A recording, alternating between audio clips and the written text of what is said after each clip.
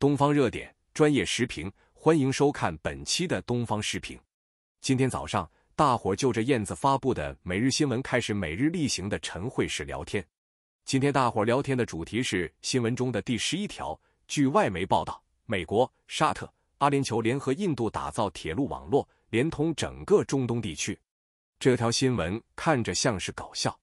搞笑的原因主要来源于印度自带搞笑的国家形象设置，简称国设。大家都知道，凡是带上印度的新闻，大多都能给人们带来欢乐。比如无法拦截的布朗运动式导弹，总是给飞机制造商带来名誉伤害的印度空军等等。而沾上铁路这个话题，大家就更加有理由笑了。二零一四年，印度政府提出了一个宏伟的铁路建设计划。这个计划的名字起得甚是豪气，叫做“钻石四边形”，用来连接钦奈、新德里、孟买和加尔各答等四个分处于印度四个方位的大城市。虽然这个四边形和中国的八纵八横铁路网比起来还是得显寒碜，但对于印度来说，已经算是非常豪阔的出手了。钻石四边形规划一出，各个具有铁路建设实力的国家纷纷出手。注意，这里面没有印度自己。因为它自身不具备高等级铁路的建设能力，最终日本人用低价竞标、自带干粮的方式，日本以年息千分之一给印度贷款一万亿日元，年限五十年，这是妥妥的亏本生意。从本来胜券在握的中国建设方手里抢走了这个钻石四边形的第一条边，准确的说，应该是小半条边，因为这只是从印度首都新德里到孟铁路规划买中的一小段。不过，日本人为了能够在印度站稳铁路建设的脚跟，这种拼一把的做法倒也没错。毕竟，如果未来印度真的要完成钻石四边形的话，那么这条从孟买到阿姆达巴的仅仅只有四百多公里的铁路，只能算是开胃小菜罢了。为了吃上大餐，先投资一份开胃小菜，倒也是值得的。但就是这样一道开胃小菜，且还是日本自带干粮的项目，却从二零一七年的开工建设到如今。也不过才完成十公里的基本建设，且不说日本人的建设能力如何，印度政府的协调能力和执行能力，从这上面就可以看个大概了。所以，大伙对于这个铁路建设计划里面有印度，立刻就哈哈大笑起来。事实上，我也是这样哈哈大笑一阵的，因为在我看来，这四个国家里没有一个具备铁路建设能力的。虽然美国以前有这个能力，但现在却没有。其国内的火车出轨事故几乎以每天三次的频率在发作，但它对于自身铁路的改善性建设或升级性建设却都迟迟没有展开。而这种没有展开，并不是美国不想，而是不能。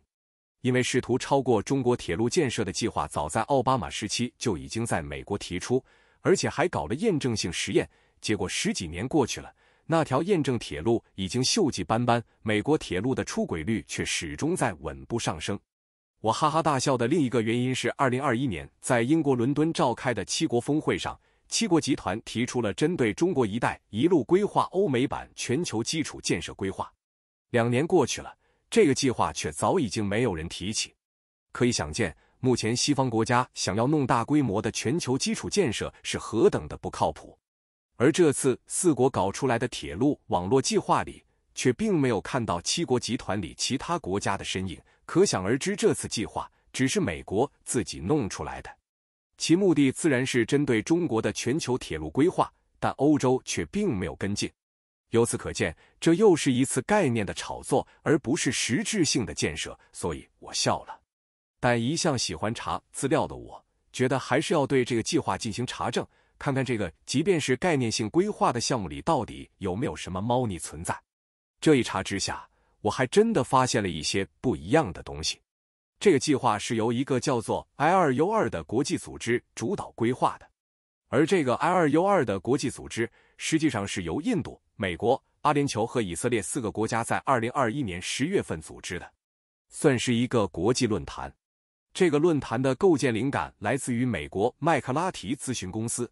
而率先把这个论坛落实的国家却并不是美国，而是以色列。正如这个论坛里的以色列官员所说的那样，虽然没有人大声说出来，但这个论坛从建成的第一天起，所指向的目标就是中国。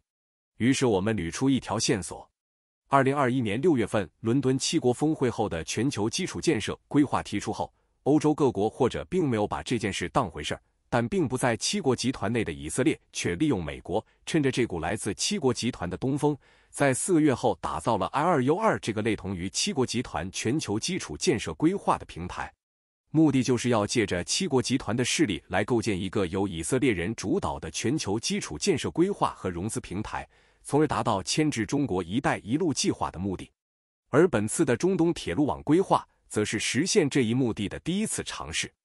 通过这样的信息挖掘，我们可以知道，虽然在本次的中东铁路网规划中并没有看到以色列的身影，但真正的主导者却正是以色列。这条线索挖下来，我本来愉快的心态顿时也就变得严肃起来。看样子，表面上看上去有些搞笑的新闻，内里却有着不一样的味道。凡是牵扯上关于谋算且资本实力强大的犹太人都不会那么好笑。本次计划的核心其实并不在于谁来修建这个铁路网，而是在于这个铁路网所蕴含的意义。对于印度来说，它需要的并不是铁路网的建设权，而是在中东能源被铁路运输集中到中东港口后，对于印度的输出便利。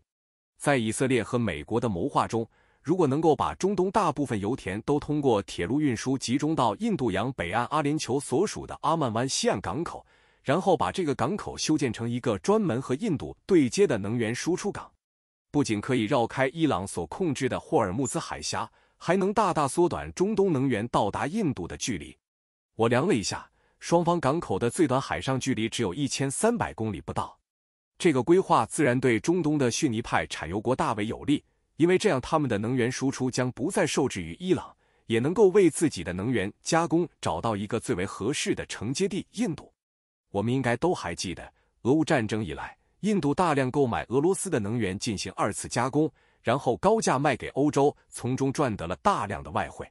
而俄乌战争迟早有结束的那天，印度的这种收益也只能是暂时性的。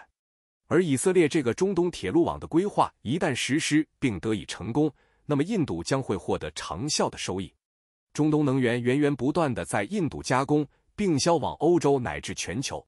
这对于中东的阿拉伯国家固然非常有吸引力，对于印度就更加有吸引力了。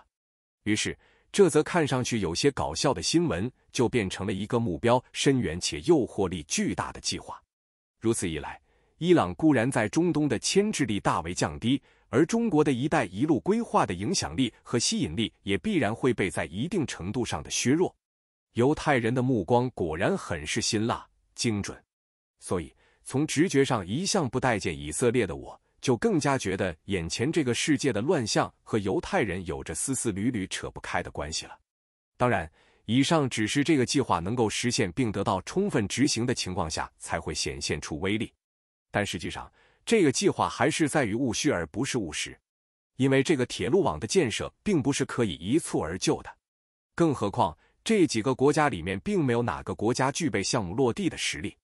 而且这个计划对于欧洲来说也是不可接受的。对于欧洲来说，如果这个铁路网真的能够落地，那么为什么不把对接的港口修到地中海沿岸的埃及或者叙利亚呢？这样就可以省去印度这个中间商，而让欧洲直接受贿。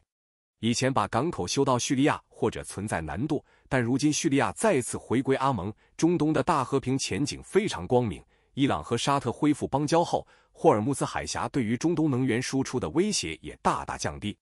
中东各国愿意协调这个铁路网建设的意愿自然随着大大降低。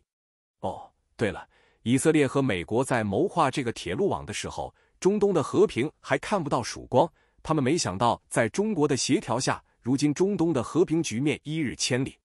修建这个铁路网的计划并没有赶上中东的局势变化。这大概也是以色列和美国没有想到的吧。但既然一年多前就已经在规划这样的项目，那么怎么也要把这个成果拿出来展示一下，否则 I 二 U 二这个平台存在的意义又在哪里呢？对于美以来说，虽然这个中东的计划没有赶上中东的变化，但拿出来让中国紧张一下，或者让印度心动一下，不也是挺好的吗？印度的心动如果因为中东的变化而变成泡影。按照印度的性格，会不会就此迁怒中国呢？能够达到这个目的，梅姨也算是得偿所愿了。至于中国会不会紧张，在我看来，中国主导的中东和平，其目的之一又何尝不是为了破坏美以的这个计划呢？所谓的国际大博弈，我们很难在事情没有曝光之前就能算无一策，但能够在事后看懂一些，不也是乐趣所在吗？本期的东方时评就到这里了，欢迎在评论区留下您独特的见解，感谢您的观看，欢迎点赞、订阅和转发。